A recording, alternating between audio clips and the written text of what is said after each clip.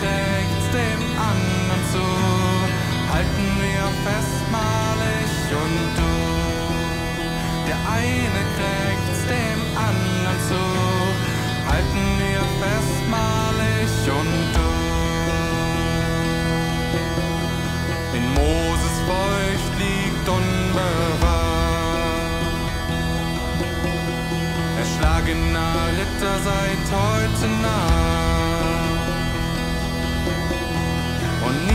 Niemand seinem Waldesgrund,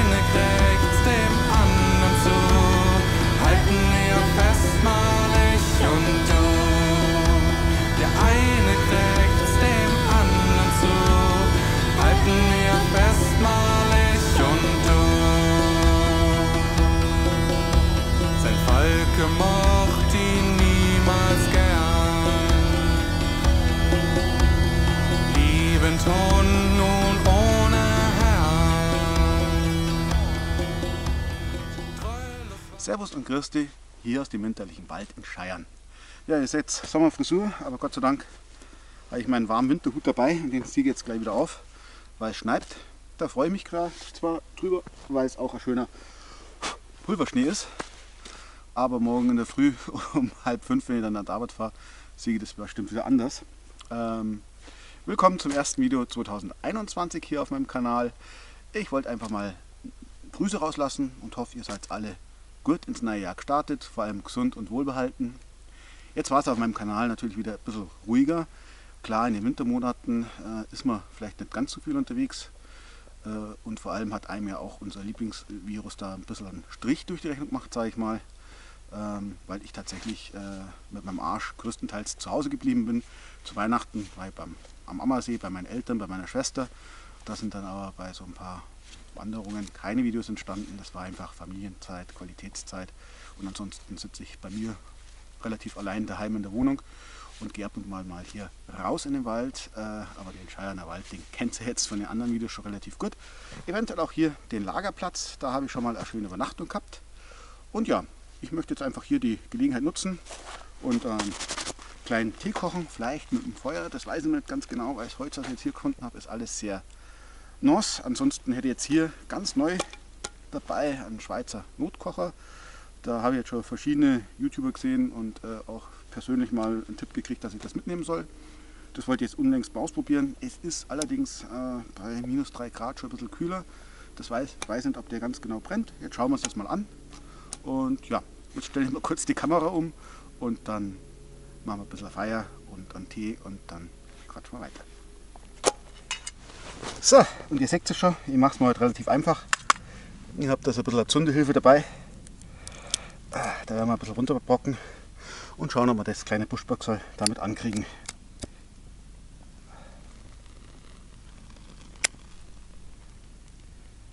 Na?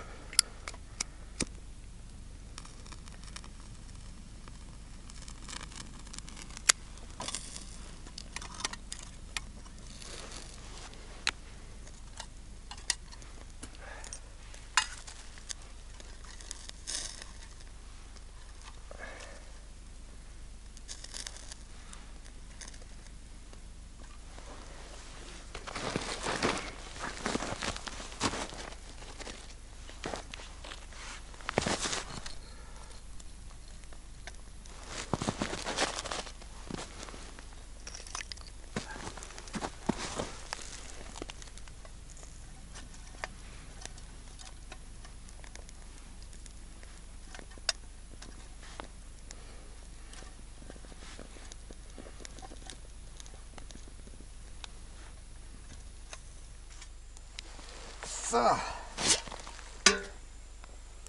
Dann setzen wir uns mal den Becher auf mit dem Wasser.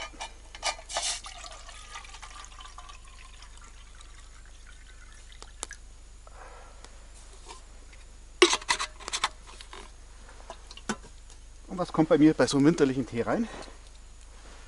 Ein bisschen an Ingwer,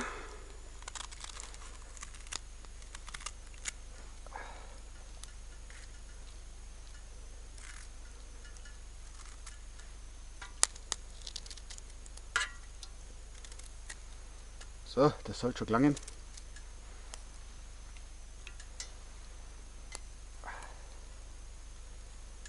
Dann ein wenig Zitrone.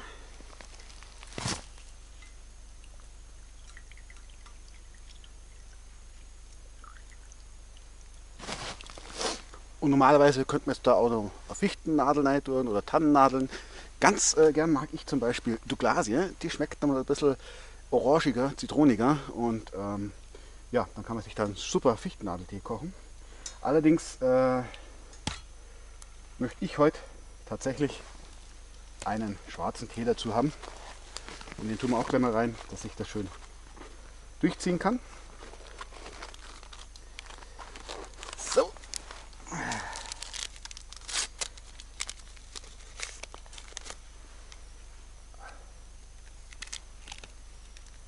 Ups, da ist er. Deckel drauf.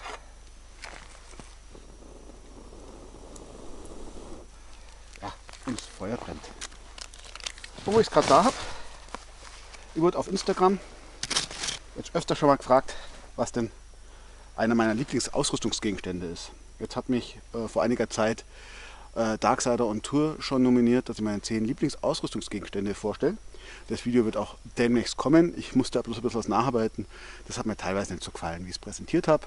Ähm, deswegen bitte ich euch da noch um Geduld. Aber wirklich einer meiner liebsten und auch tatsächlich Ausrüstungsgegenstände, die ich am meisten draußen habe, ist hier das Victorinox ähm, Ranger Boot 55. Ganz einfach, weil es eine wirklich saubere Klinge hat. Zum Schnitzen, Schneiden wunderbar geeignet. Also so richtig Allrounder. In einer hervorragenden Schärfe wird es angeliefert. Ist eine feste Klinge. Hier noch äh, mit einer schönen Stütze für den Finger. Beim Schnitzen ganz hilfreich. Natürlich hat man dann die Dosenöffner, Schlitzschraubenzieher etc. auch dabei. Ähm, fest irritierte Klinge, die man auch wieder einklappen kann. Und was eben halt sehr gut ist, finde ich, ist die relativ große Säge. Und für ja, so kleine Lagerungen wie jetzt hier, ähm, mal einen Tee kochen und ein bisschen kleines Holz machen, reicht das komplett aus. Wie gesagt, das ist jetzt keine Werbung oder sowas in Richtung. Das Ding habe ich mir selber gekauft. Das habe ich seit Jahren und bin echt rundum zufrieden damit.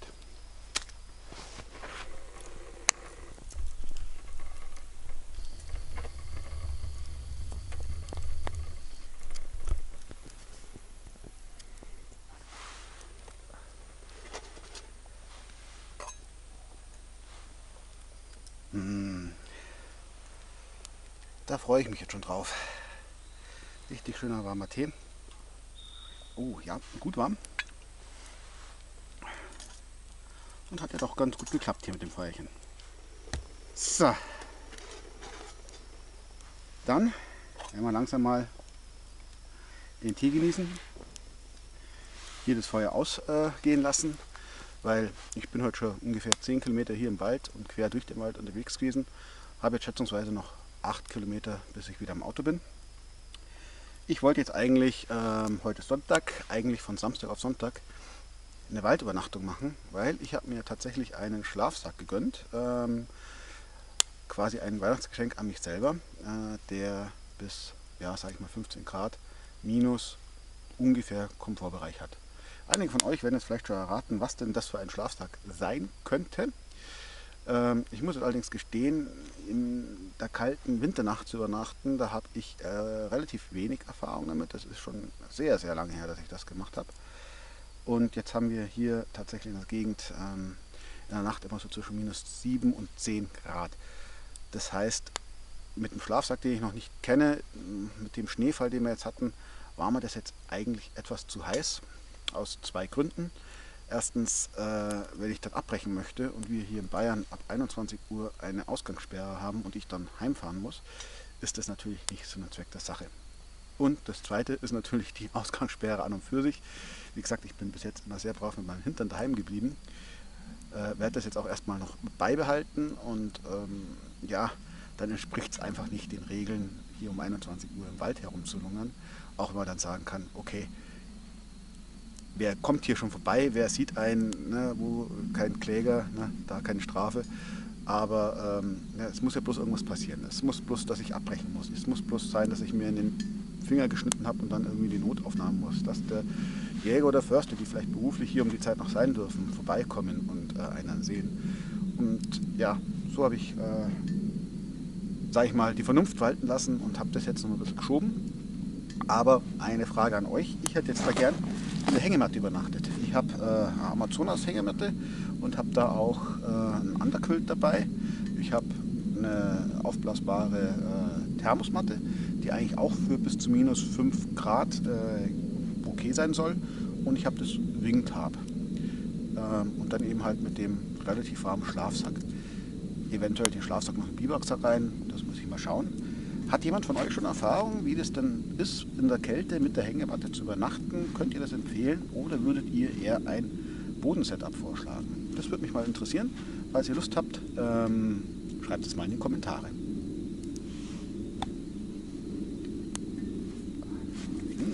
warm.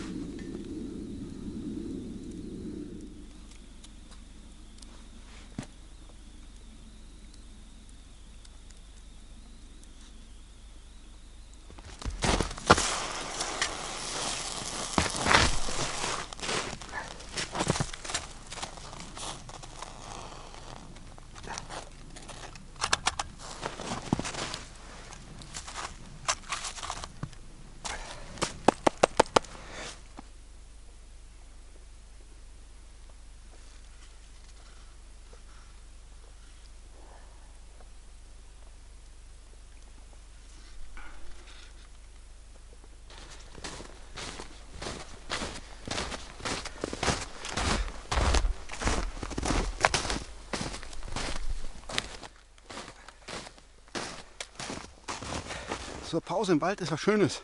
Und auch der warme Tee hat gut getan. Trotzdem ist mir jetzt kalt. Also komm auf, dir mal ein bisschen Tempo vorlegen, dass uns wieder warm wird.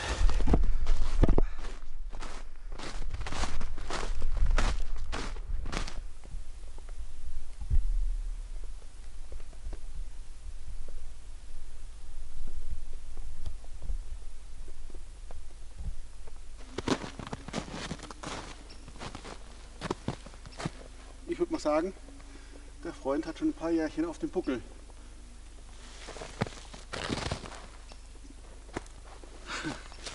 Ja, ganz schön groß der Freund. Klasse.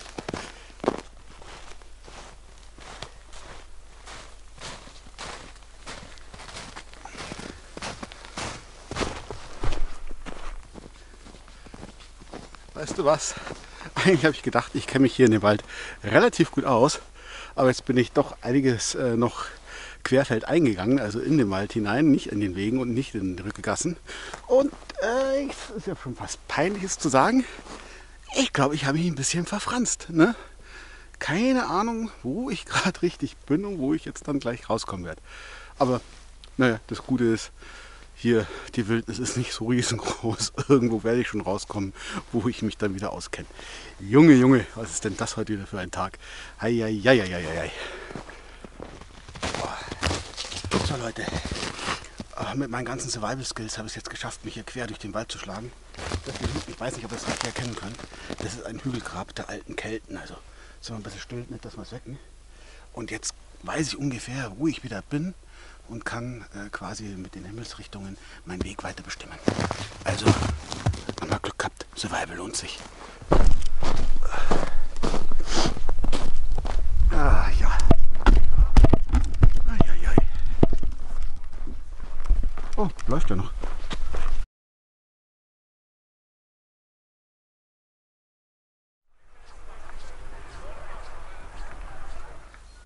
Jetzt bin ich erstmal positiv überrascht, dass das Auto nach der ganzen Zeit tatsächlich noch so schneefrei ist. Es waren jetzt doch knapp 20 Kilometer, dadurch, dass ich mich natürlich auch ein bisschen verfranst habe. Ähm, ja, wie einem sowas passieren kann, weiß ich auch nicht, aber ich war tatsächlich sehr überrascht, wo ich wieder rauskam und ja, den Weg kannte ich dann wieder und dann war es alles kein Problem. Jetzt möchte ich noch drei Sachen sagen. Erstens, einmal ein großes Sorry wieder, weil dieses Video wird, wenn es online geht, tatsächlich äh, wieder so wegen Chaos-Video sein. Es ist nicht ganz so durchgezogen worden, wie ich mir das vorgestellt habe.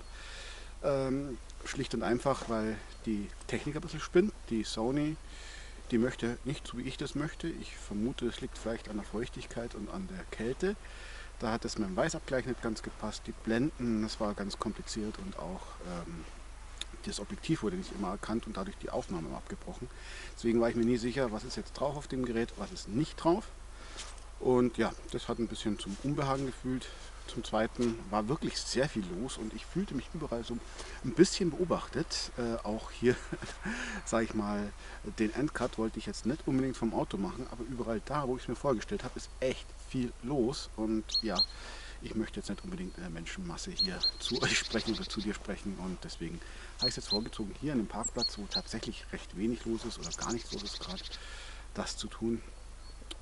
Ja, und äh, genau.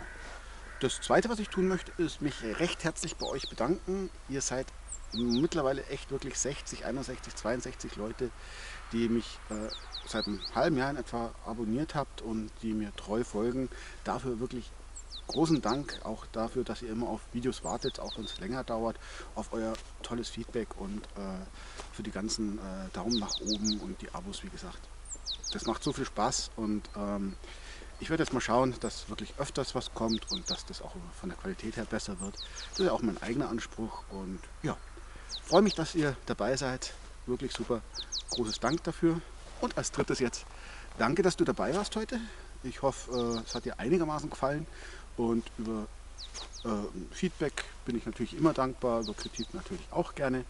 Ähm, ich werde jetzt heimfahren, werde mir einen heißen, schönen Tee nochmal kochen, äh, mich dann auf mein Sofa begeben und einfach ein bisschen die äh, Füße ausruhen. War tatsächlich jetzt mit dem Schnee und dem Unterholz anstrengender als ich dachte. Und ja, ich hoffe, wir sehen uns bald wieder und ich freue mich auf dann. Bleibt gesund, bleibt fröhlich, geht raus, Körper und Geist werden euch danken.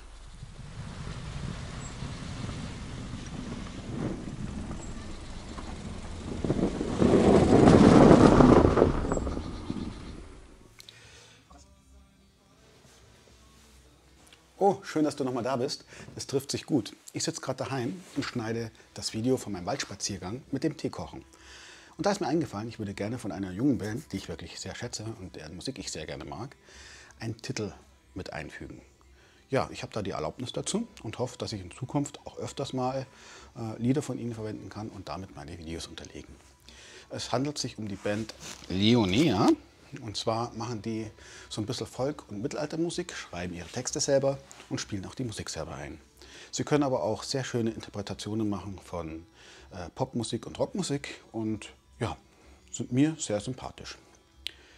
Ähm, ich verlinke euch gerne mal ihren Instagram-Auftritt und ihren Facebook-Auftritt. Sie sind auch auf Twitch vertreten und auf YouTube. Das Ganze packe ich euch in die Videobeschreibung ein. Auch ihre eigene Webseite mit ihrem eigenen Store, wo sie zum Beispiel ihre erste äh, CD, die sie selber gemacht haben, ähm, präsentieren und man kann die natürlich da auch käuflich erwerben. Ich habe das Lied Rahmen des Heidewaldes ähm, in mein Video eingefügt, also wenn ihr wissen wollt, wie das weitergeht oder was die noch alle spielen, hm, die, dann äh, guckt doch mal bei ihnen vorbei. Das soll jetzt keine Werbung sein, es ist eher so ein bisschen ein Danke, dass ich eben halt ihre Musik verwenden darf da freue ich mich sehr drüber. Und ja, zudem der Alvo, der hat auch einen eigenen Outdoor-Kanal und äh, einen Gear-Kanal. Den packe ich euch natürlich auch noch gerne in die Beschreibung rein. Guckt mal bei ihm vorbei, der macht wirklich auch äh, klasse Videos, ist ein ruhiger, total netter Typ, der Ahnung hat von dem, was er erzählt. Also ganz anders als ich. Ich wünsche euch jetzt noch einen schönen Tag und ja, man sieht sich bald wieder.